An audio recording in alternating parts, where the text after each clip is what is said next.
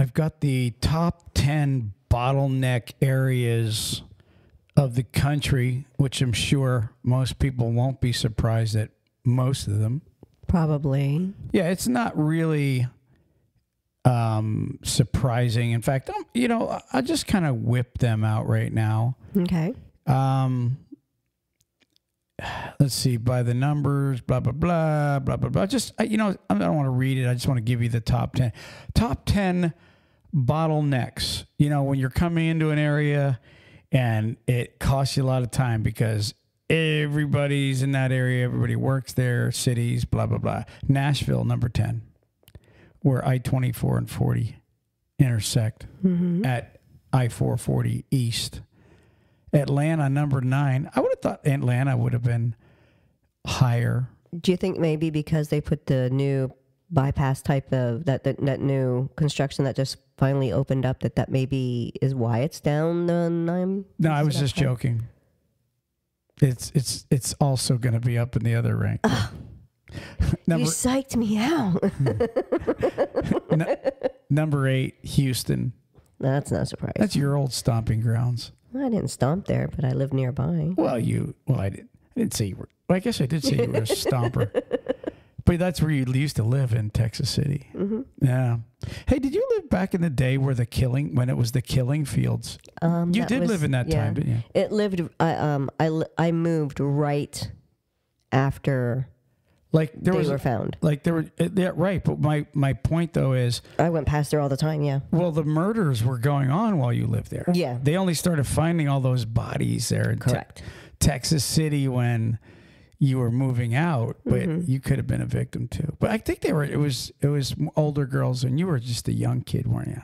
Um. No, I was in high school. So yeah, you could have been a victim. That's a good thing. Uh, there was one one of the my fellow high school. She was a senior. She was a one of the victims. believed.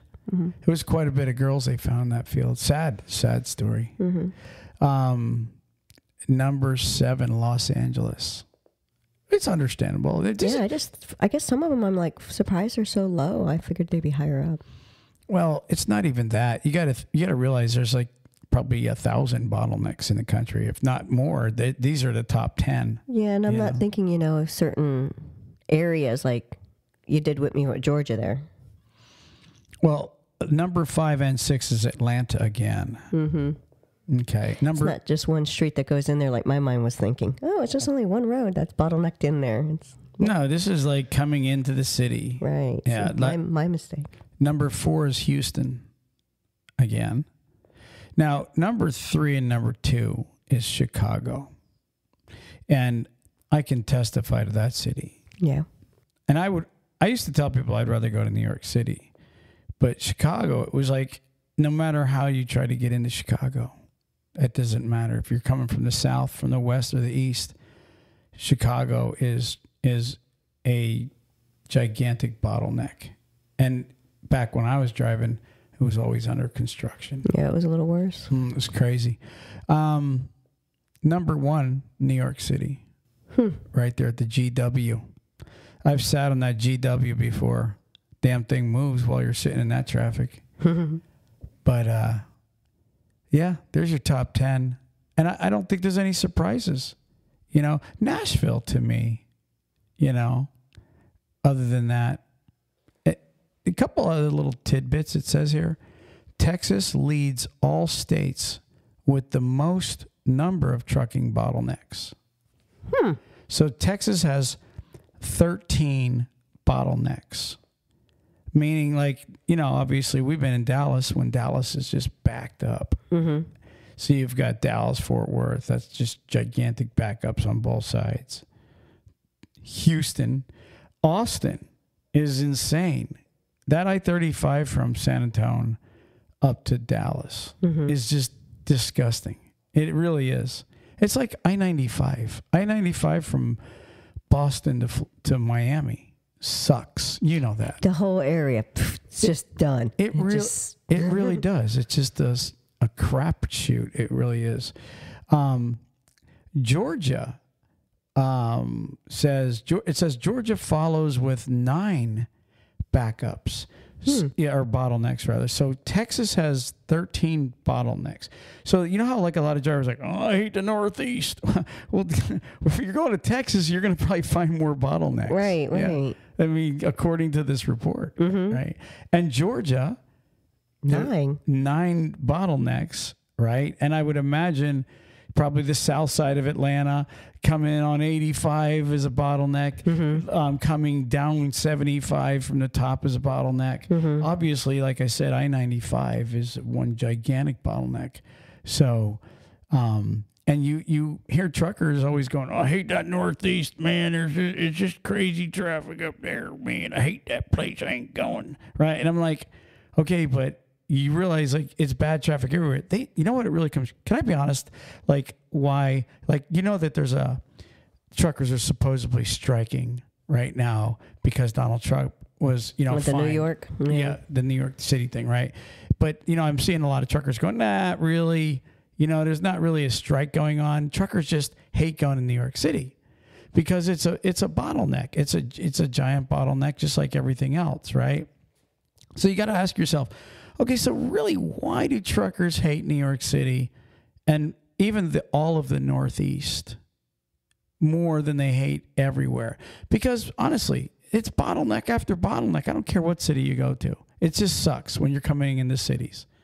So here's my guess: there's no parking in no, any cities. There's you can't find, you know, truckers that live in the cities can't find parking. There's crime in every city. We already know that Memphis was like number one. Tulsa and Memphis and Miami, they were huge for crimes against truckers more than New York.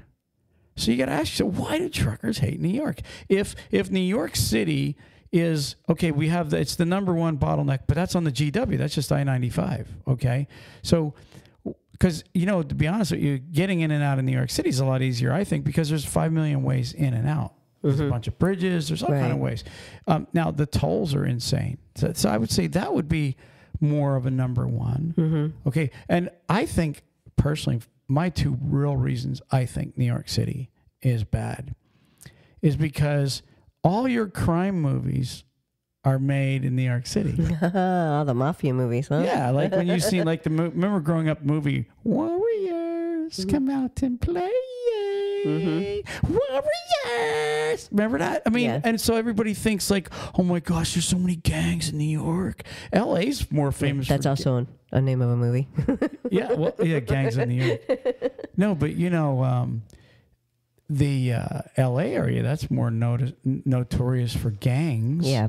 So you know, why do truckers hate New York City over the rest of the country? And one time I was in Indiana when I worked for that company in Richmond, and they said to me, That We- company. "We got to ask you a question." Why is everybody in the Northeast so rude? I'm telling you, it's the it's our accent. You know, I'm originally from the Northeast in Pennsylvania, so I believe it's it's the rudeness that comes from the Northeast that people literally don't want to go there. People, if you're from the Northeast, you're used to the people in the Northeast, and you don't really think anything of it. But you know, and people used to say to me when I was a young trucker, they'd be like, "Man, you're crazy," because that's all I used to do is Northeast, right? Mm-hmm. And they used to tell me that there's a better, a bigger world out there. And then I started going over the road, and I was like, "Oh, so this is why they hate the Northeast." yeah, because like you go into a diner in the South, everybody's like, "How y'all doing? I'll be right with you there, sugar." hey baby, hey baby, you want some pancakes there? You know, I mean, I mean, honestly, they're nice. And you go into the, like the Northeast, they're like, you know, I'll be with you in a second. you know, You want some mustard with that pretzel? yeah, I mean, and, and and the way they talk, like even I despise New York accents. Mm-hmm. Like people, like sometimes they think I'm from New York, but I'm not. But when you like when you're from Pennsylvania, you know the difference between Pennsylvania and New Jersey and New York. Mm-hmm. And New York is rude, and so is Boston. You know what I mean? And so.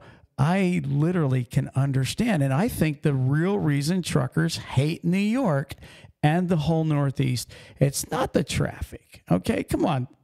We just read Texas has more bottlenecks than any state. Okay, Georgia's number two, southern states.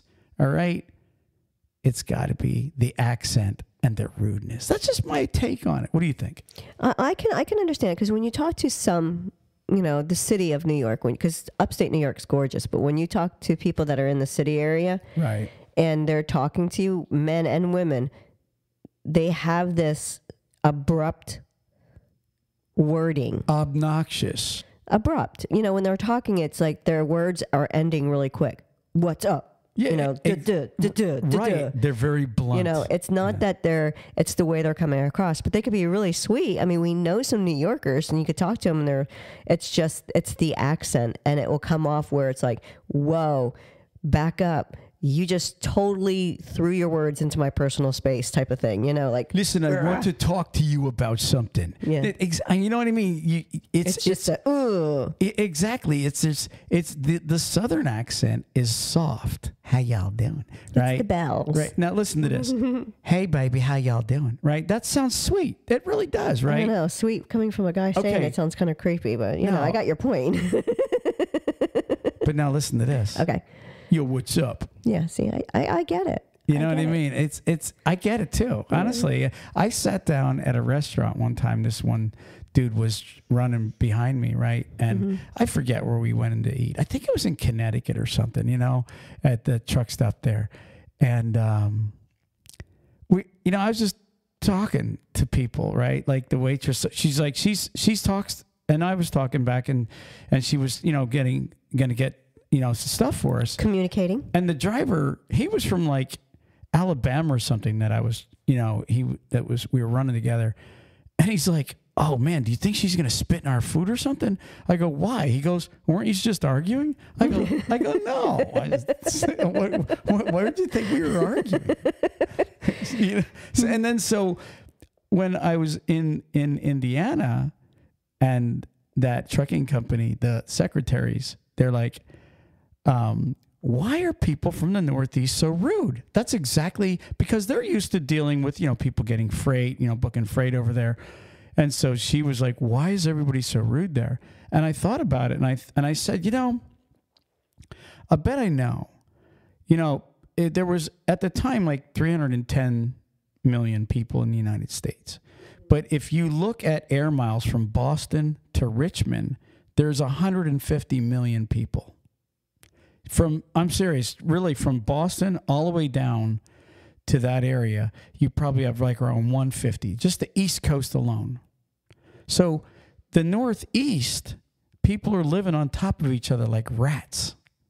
And so I said to her, I said, let me ask you a question.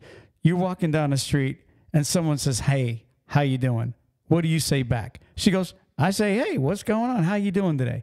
I said, exactly. I said, when someone says hi to you in New York or New Jersey, you grab your wallet and you say, piss off. I said, because honestly, that's the truth. If like, if you go into big cities, like especially New York City, you know, everybody knows don't act like a tourist. Mm-hmm. They spot you a million miles away. There's scammers everywhere.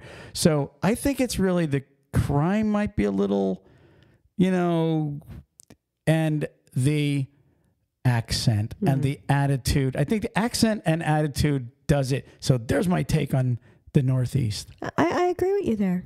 I agree. Yeah, The cool. accent and just the uh.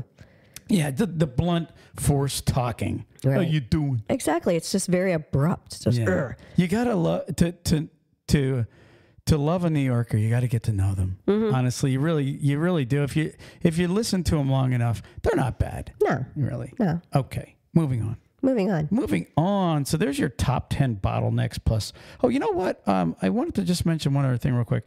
Um, so I said Georgia had 13, um, or Georgia had 9 Cal, or I can't even talk. Texas had 13. Georgia had nine. California has eight. Tennessee has seven backups. Illinois and Washington both have six. So those states are are filled with backups. If you want to go where there's no backups, you need to go to Wyoming or something. Or the Northeast where there was none. where there's no people. you It's know? true. Go up in the mountains. Yeah. So moving on. Moving on. Okay. I, I kind of drugged that out a little bit. It's okay. Um, well, you know what? By the time they get this podcast, we'll already be at the show in Florida. So no sense in mentioning it like I just did. But uh, just real quick, you have the booth for Louisville. 66105. please stop in and see Talk CDL out there. And again, I'm going to mention in each podcast, we have free VIP tickets. They are worth about 99, 100 bucks a piece. They're free to you drivers. All you got to do is write to us. People have been writing to us. We've given out quite a bit of tickets. Um, and these tickets not only get you into the complex to be in, you know, where uh, the, the, uh, The fun stuff. exhibitors are at, but it also gets you into like I don't know if Shania Twain or Alabama or whoever's playing this year.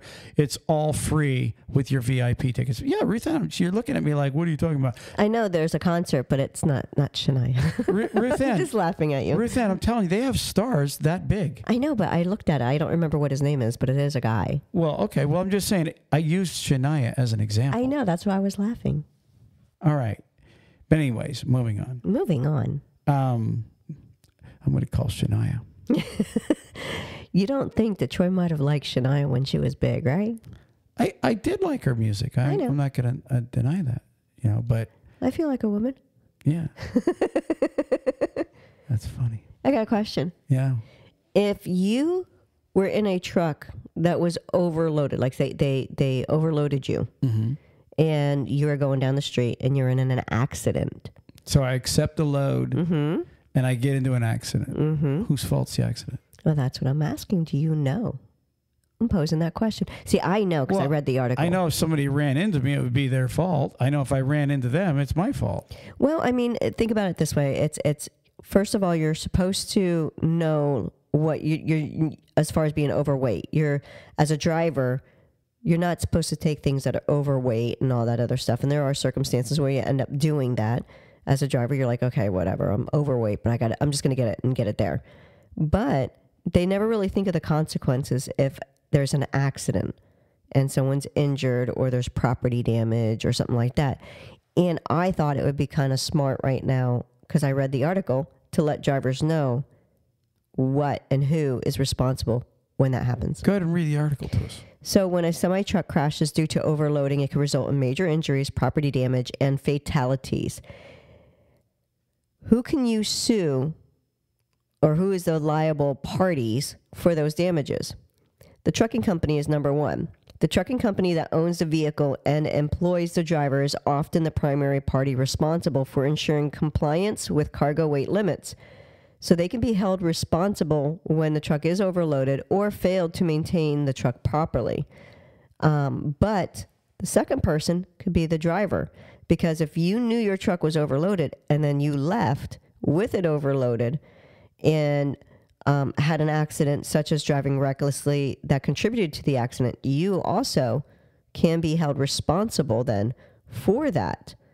Well, I noticed the article you read started out with the accident is due to the overload. So if the overload is the cause of the accident, okay, if that's the main contributing factor, mm-hmm. then I agree with you. You know, and yes, most obviously a lawyer, who do you think he's going after? The trucker?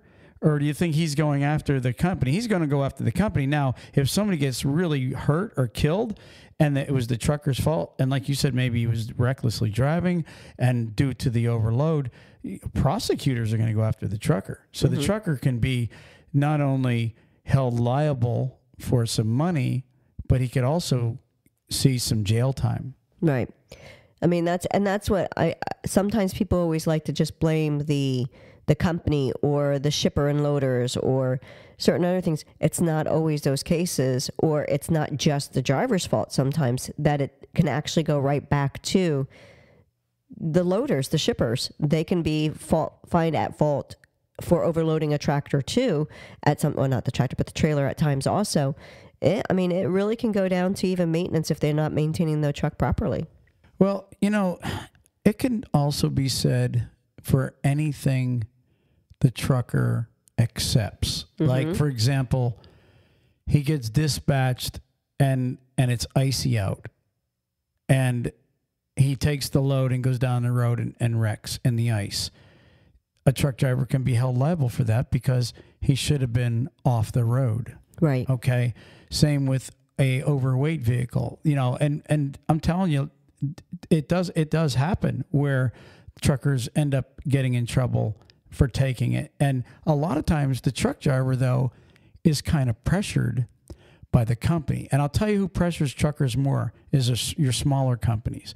Your bigger companies are really starting to learn that hey, if a driver says it's unsafe or hey, I'm not driving this overweight truck, a lot of your bigger companies are like, no problem, let's get it taken care of because mm-hmm. they know and they've dealt with lawsuits. It's your one truck chuck companies, you know what I mean, five trucks, 10 trucks, where the owner or he has one dispatcher and they're just trying to make money and they start threatening the truck driver. Mm-hmm. Okay. That does, that crap does happen quite a bit. And so I'll tell you the problem is if you're a trucker and you're making really good money with that company, it's easier for them to pressure you. Hey, right. I can get somebody else. You know what I mean? You're mm-hmm. fired if you don't take it. Exactly. You know that type of, of stuff. Okay, it's, uh, it's it's too heavy. Okay, well let me give you a route to get around the scales. Mm-hmm. You know, and then like there you are trying to duck the scales, and you you end up like you said into an accident due to like for example, if you're overloaded and your brakes are you know just passing, mm-hmm. and you come up on a stop sign or a red light and you can't stop because you're 10, 15,000 over. Mm-hmm. I've seen guys grossing over 100,000, okay? And guess what? You don't stop the same with 100,000 as you do 80,000. Correct. So, yeah, I agree with you. That's a, a good article. And people, drivers should know that. Don't let anybody bully you into taking a load. It isn't, I can tell you right now, the day you take a load that's overweight and you get into an accident because, remember, this is saying because of the overweight. All right. The, that day, if you hurt somebody bad enough or kill them, your career's over.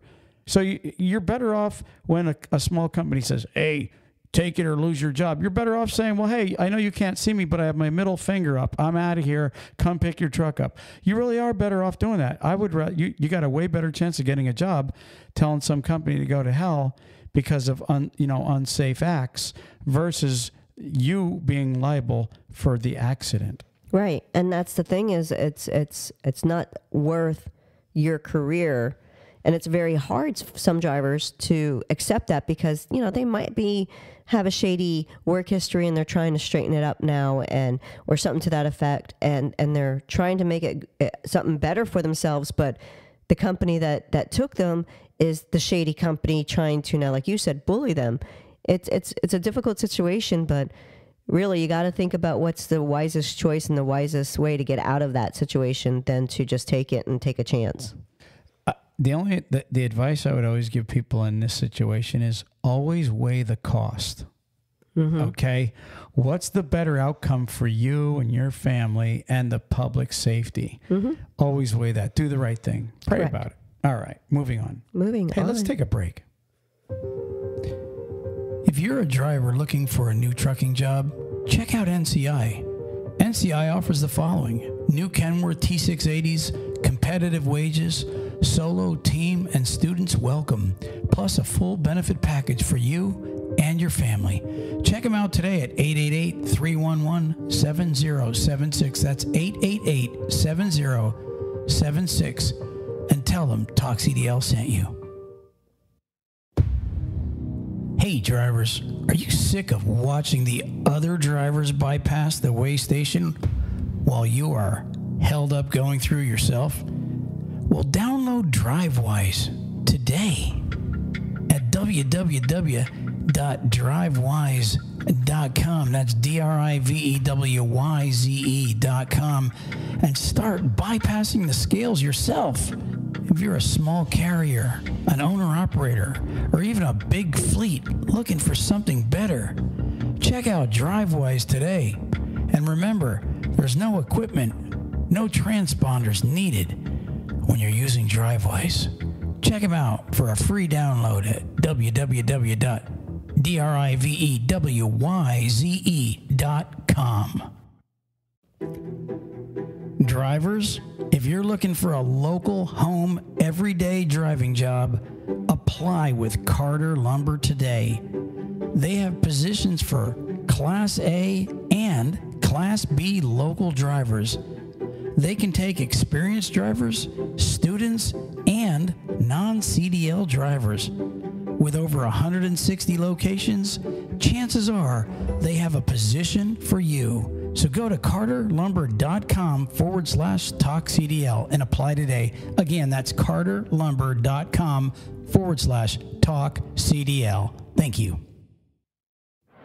Truck Parking Club is a network of instantly reservable daily and monthly truck parking locations throughout the U.S. Truck Parking Club helps connect truckers to truck parking locations throughout the U.S. via truckparkingclub.com. Our networks is made up of property owners that have locations adequate for truck parking to list on the platform. This includes trucking companies, storage companies, CDL schools, trailer leasing companies, real estate investors, truck parking operators, and more. Go to truckparkingclub.com today.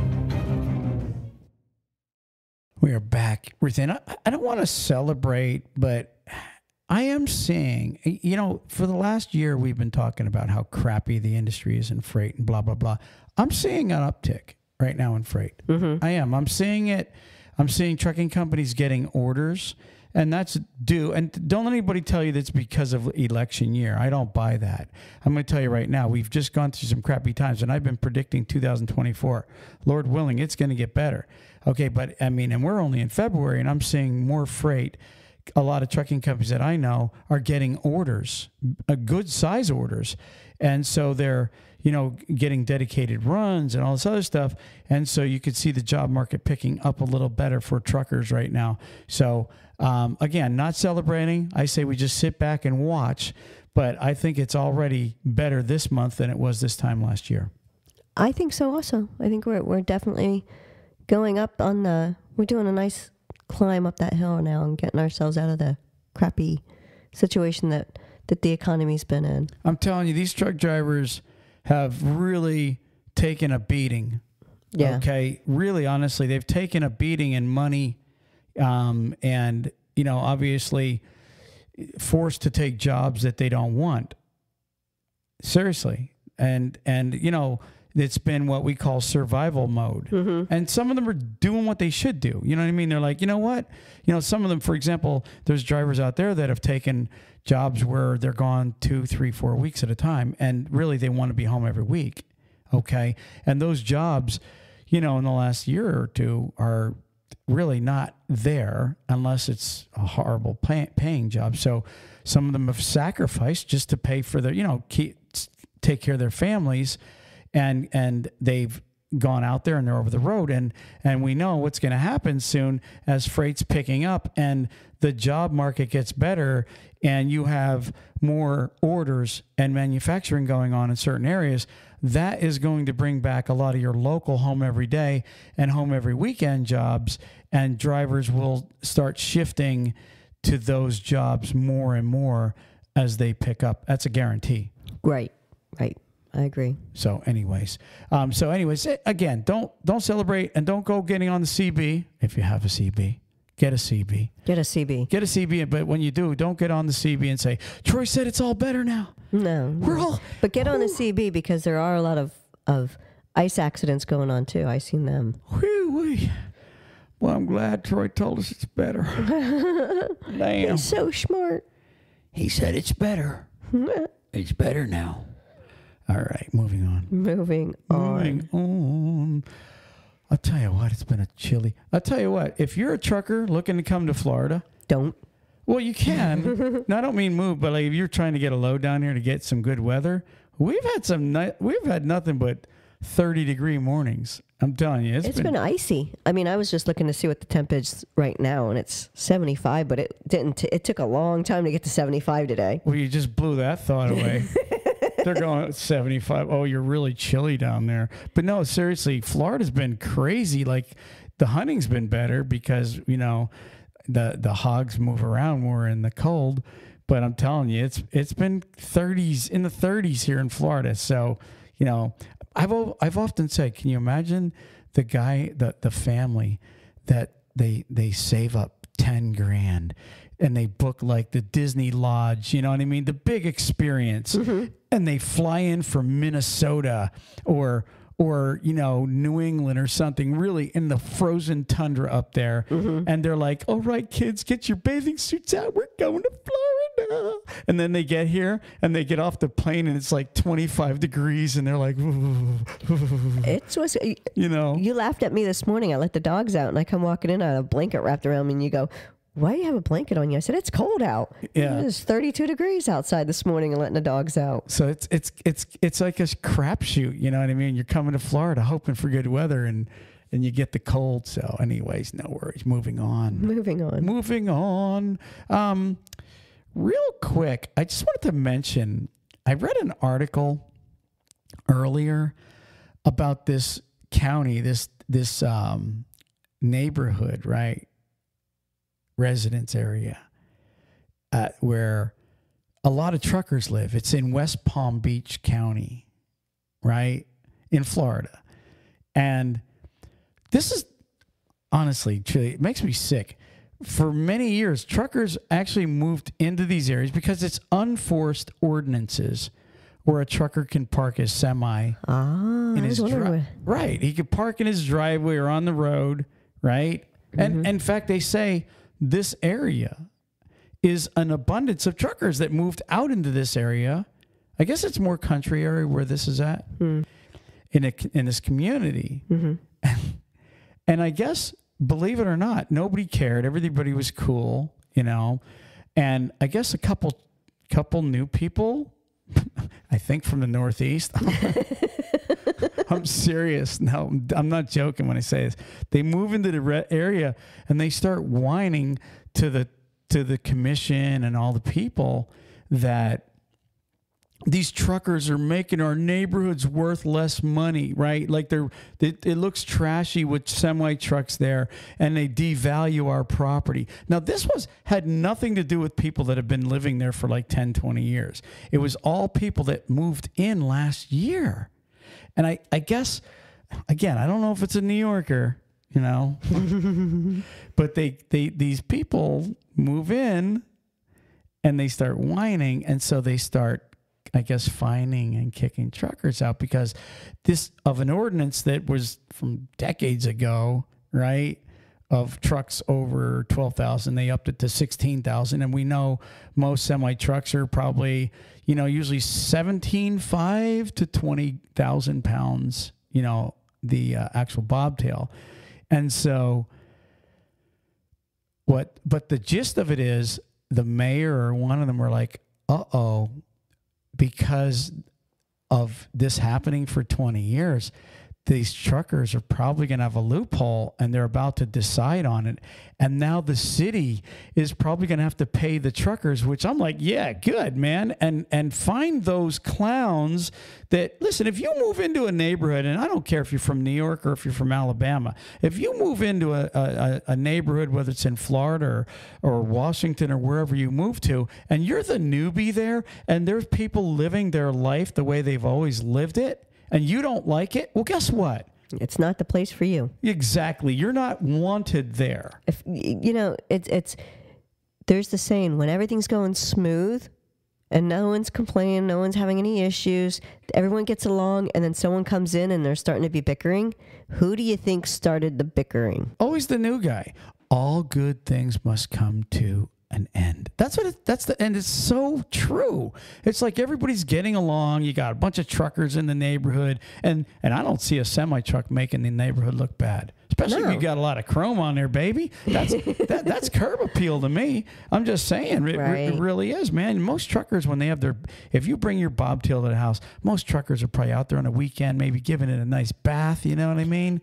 That, but honestly, how many times are those truckers home? Come on, They're man. in West Palm. That's a that- that's a good that's another good observation. How often do the truckers actually come home? Come on, guys. If you're moving into a neighborhood, before you move into that neighborhood, you need to go in there. Hey, before we moved into this neighborhood, I literally came in here and I parked my vehicle at night just to see if there's like rowdiness or anything like that. I wanted to see, and it was nice and peace and quiet. And I mo- and we moved in. This was years ago. I, I advise that to anybody, but don't move into the neighborhood and become the neighborhood jackass, uh, the one nobody likes. Come on, guys. It's true. I'm serious. It's true. You know what? If I was the truckers, I'd be starting my truck up at about 4 a.m. and I'd park it out front of that guy's house because I'm sure everybody knows who it is. I don't know who it is, but I'm sure they. Yeah, or you always knew who the new person is. In Everybody knows who the whiner is too in your neighborhood. The guy that calls the cops for every little thing. Mm-hmm. You know, I'm serious. That's the guy, right? Hey, you, you, do you just get near my property there? Don't you dare! Don't you look at my property? You know, honestly, and truly, guys, take a chill pill. I mean, seriously. You know what they? You know what that those those clowny, whiny neighbors need to do? Seriously. They need to go knock on the trucker's door and see if the trucker will take them out in the road for a week so that they can literally see what we go through as truck drivers. And maybe they would appreciate, okay, the guy that's actually bringing the stuff that they eat and, and, and wear and everything else. Maybe they'd find another new pre- appreciate. Remember uh, back in the day when if you started working for a trucking company, I didn't care if you were a secretary or whatever, back in the day, they made you go out on the road at least for one trip.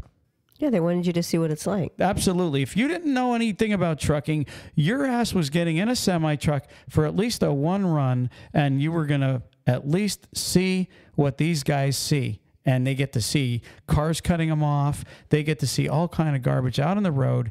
And guess what? Everybody got they develop a new appreciation for what it's like to be in a big truck and have a bunch of four wheelers around you and traffic and all kinds of BS. And most people end up changing their attitude towards truckers once they get in that truck for a little bit. It's the truth. It is the truth. Yes, it is. Anyways, Ruth Ann, that's my podcast for the week. Come see us at Louisville. You got the word of the day I do. by Word Genius. By word genius. Superficies. a super fish.